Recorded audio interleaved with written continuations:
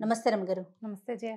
రమగారు పెళ్ళిళ్ళు జరిగిన శుభకార్యాలు జరిగిన మనం కొంతమందికి బట్టలు పెడుతూ ఉంటాం బంధువులకి.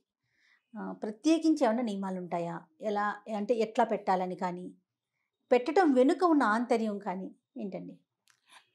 పురాతనమైన సాంప్రదాయం జయ. ఒకళ్ళు వివాహం చేసుకుంటున్నారు. వివాహం చేసుకుంటుంటే వివాహ కన్యాద కన్యాదాతలకి బట్టలు పెడతారు. ఎవరైతే కన్యాదానం చేసుకుంటారో ఆవిడ తల్లి తాలూకు పుట్టింటి వాళ్ళు బట్టలు పెట్టడం. ఆదరణ.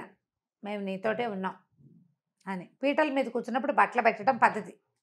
సత్యనారాయణ వ్రతం చేసుకున్నాం మనమే. మన అమ్మ నాన్న తెచ్చి మనకు బట్టలు పెడతారు. లేదా. అన్నదమ్ములు పెడతారు. మన కజిన్ బ్రదర్స్ వాళ్ళ అమ్మ నాన్న లేరు కదా అని పిన్నిలో బాబాయిలో ఎవరో ఒకళ్ళు పీటల మీద కూర్చున్నప్పుడు దంపతులకి బట్టలు పెట్టడం అనేది ఒక చాలా పాత సాంప్రదాయం. ఇది బహుశా ఎలా మొదలై ఉండొచ్చు అంటే ఈ కన్యాదాతలకు వస్త్రాలు ఇవ్వటం అవన్నీ పురాతన కాలంలో ఇన్ని బట్టలు ఈ కొనుక్కోవటము ఈ గోల ఉండేది కాదు తక్కువ ఉండేది. అవును. బట్టలు పెట్టడానికి ఒక వస్త్రాలు పెరగటం కోసం ఒక పద్ధతిగా మొదలు పెట్టించి ఉండుండొచ్చు. బహుశా. వాళ్ళ ఇంట్లో ఫంక్షన్ చేసుకుంటున్నారు పెళ్ళి బోళ్ళంత ఖర్చు పెడతారు సొంతాన్ని బట్టలు కొనుక్కోరు పిల్ల పెళ్ళి హైరాణగా ఉంటుంది. వాళ్ళకి కొత్త బట్టలు కొని పెట్టడం పుట్టింటి వాళ్ళు పెట్టడం అది కూడా మేము పెట్టాము. అని ఇలా అందరూ పెట్టాలని తెలియజేయటం కోసం మొదలు పెట్టి ఉండొచ్చు అనిపిస్తుంది పురాణాల్లో ఉందా అంటావు వెంటనే నువ్వు? ఎక్కడా పురాణాల్లో వస్త్రాలు పెట్టినట్టుగా కథల్లో ఎక్కడా కనపడదు. ఆడపిల్లలకి పెట్టడం అని కానీ అసలు ఎక్కడా లేదు. లేదు. పిలవకుండా వెళ్ళకూడదు లాంటివే వింటుంటాం. సతీదేవి పిలవందే వెళ్ళిందని. తప్ప ఈ బట్టలు పెట్టడం అనే సంప్రదాయం ఉన్నట్టే కనపడదు. ఇదివరకటి రోజుల్లో పెళ్ళి ఇవన్నీ కూడా ఒక బార్టర్ సిస్టమ్ ప్రకారం నడిచేవి. ఇప్పుడు మన ఇంట్లో పెళ్ళి. కష్టపడి కూర్చుకుంటాం. మన చుట్టాలు పక్కలంతా తల ఒక వంద రెండు వందల పదులు ఇరవైలు రాయించేవాళ్ళు. ఈడేతలు ఉంటుంది మా సత్యవతి వాళ్ళ ఊళ్ళో బాగా నడుస్తాయి. ఈడేత. ఇదేత ఈడేతలు అంటారు. ఈడేతలని వేస్తారు. వేశాక వాళ్ళ అమ్మాయి పెళ్ళి వచ్చింది అనుకో మనం అట్లాగే ఇప్పుడు వాళ్ళు వేయేశారు మనకి. మనం వాళ్ళు వేసిందే మనం వేయకూడదు. రోజులు గడిచే రెండు మూడేళ్ళు. ఒక ఇంకో రెండు వందలు ఇంకో ఐదు వందలు మన శక్తి అనుసారం పెంచాలి. ఓ గిఫ్ట్ ఇవ్వటం గారు గిఫ్ట్లు. అంతే ఇప్పుడు ఏంటంటే మన ఖర్చులకు సరిపడా వాళ్ళ ఇంటి నుంచి మనకు డబ్బు వస్తుంది అందరిళ్ళ నుంచి. వాళ్ళ ఇంట్లో పెళ్ళప్పుడు అందరితో పాటు మనం కూడా వాళ్ళకి వేస్తాం. సూపర్. అట్లా పిల్లలు పెద్దవాళ్ళు అయినప్పుడు వాళ్ళకి కావాల్సిన వస్తువులు అవి అమర్చడానికి పింతలు వాళ్ళు వీళ్ళు చుట్టుపక్కల అందరూ కలిసి తలా ఒక చెయ్యి వేయటం అనేది ఒక పద్ధతి. గిఫ్ట్లు రాసుకోవటం ఉంటుందా? ఎందుకు రాసుకుంటారు? మళ్ళీ మనం ఇచ్చేటప్పుడు వాళ్ళు గుర్తుండాలి ఏమి ఇచ్చారో చూసుకుని ఇవ్వడం కోసం.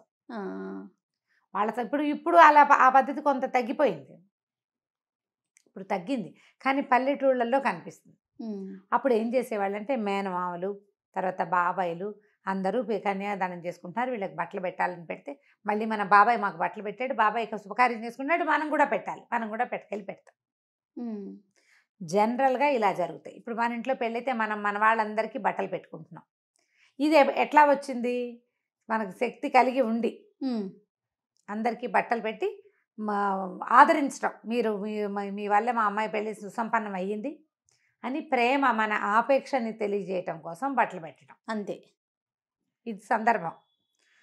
సాధారణంగా గృహప్రవేశాలు పెళ్ళిళ్ళు సత్యనారాయణ వ్రతాలు ఈ మూడు సార్లు పీటల మీద కూర్చున్నప్పుడు పీటల మీద కూర్చున్న వాళ్ళకి బట్టలు పెట్టడం ఫంక్షన్ చేసుకునే వాళ్ళు తమ వాళ్ళకి బట్టలు పెట్టుకోవటం.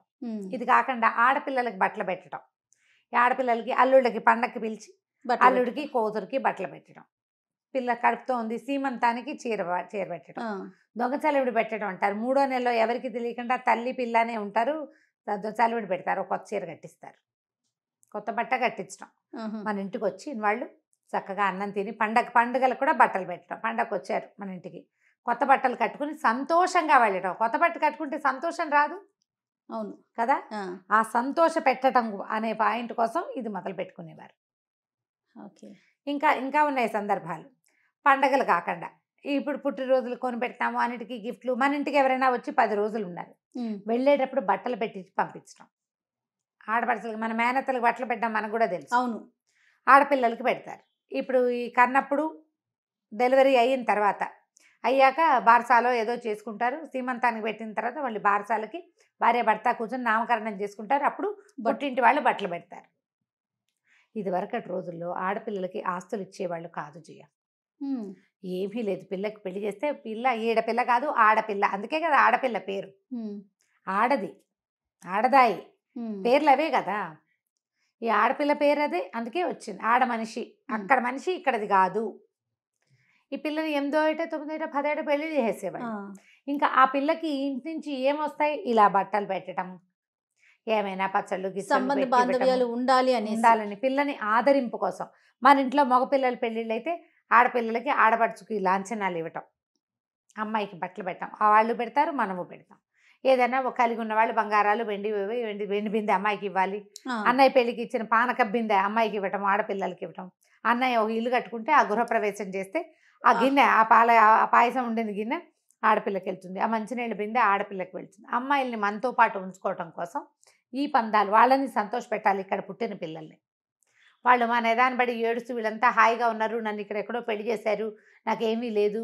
ఆ ఇంట్లోనే ఉంటే అని. వాళ్ళు ఫీల్ అవ్వకుండా ఉండటం కోసం మనకి కలిగింది. వాళ్ళకు కూడా కొంత పెడుతూ ఉండటం. క్రమంగా దాన్ని ఏం చేశారు? భగిని హస్త భోజనాలు లాంటి పండుగలు కూడా వచ్చినాయి. మళ్ళీ ఆడపిల్లల్ని పిలవడం ప్రత్యేకంగా. ఏడాది లోపల మళ్ళీ పురిటి మంచం చూడాలని ఒకసారి తీసుకొచ్చి పసుపు కుంకం సారే అవి పెట్టి పంపిస్తారు. సందర్భానుసారంగా వాళ్ళ పిల్ల పెద్దదైంది. పిల్ల పెద్దదైన పిల్లకి ఏమైనా పట్టుకెళ్ళి ఇవ్వటం ఇలా బట్టలు పెట్టే సాంప్రదాయాలు మనకి ముందు కాలం నుంచి వచ్చినాయి. ఇది ఆదరణ మన ప్రేమని తెలియజేయటము వాళ్ళని సంతోష పెట్టడం అంతే. ఇది కాకుండా ఇంకొక సందర్భంలో బట్టలు పెడతారు. ఇది ఇప్పుడు అన్ని సంతోషాలు కదా! అవునవును. ఒక మరణించినప్పుడు. అవును. మా ఒక- కమ్యూనిటీలో అనుకుందాం. మీ మా అనడానికి వీల్లేదు. ఒక్కో కమ్యూనిటీలో ఒక్కో రకంగా చేస్తారు. ఈ పదం పది పన్నెండు రోజులు కర్మలు చేసే చోట అయితే పన్నెండో రోజున ఆదరింపు బట్టలు పెడతారు. మేనమామలే పెడతారు. మామగారులు మేనమామలు పెడతారు సాధారణంగా. ఆడపిల్ల పుట్టింటి వాళ్ళు అల్లుళ్ళకి బట్టలు పెడతారు. లేదా మేనమామలు తల్లి పుట్టింటి వాళ్ళు. తర్వాత మళ్ళీ ఏడాది లోపల ఒకసారి ఎక్కడికి తీసుకెళ్ళి. నిద్ర చేయించి తీపి ఏదన్నా చేసి పెట్టి అవును. నాయన ఈ కష్టం మర్చిపో మళ్ళీ మనం మేమంతా ఉన్నాం నీకు అని అతన్ని ఆదరించి ఆ మనిషిని అబ్బాయి ఎవరినో అతనికి మా బట్టలు పెట్టడం. మళ్ళీ తర్వాత సంవత్సరికాలు చేస్తారు. సంవత్సరికం అయిన తర్వాత కూడా మళ్ళీ మేనల్లుళ్ళకి మే బట్టలు పెడతారు. భార్యాభర్తలు ఇందులో బియ్యంకులకు పెట్టే ఉంటాయి.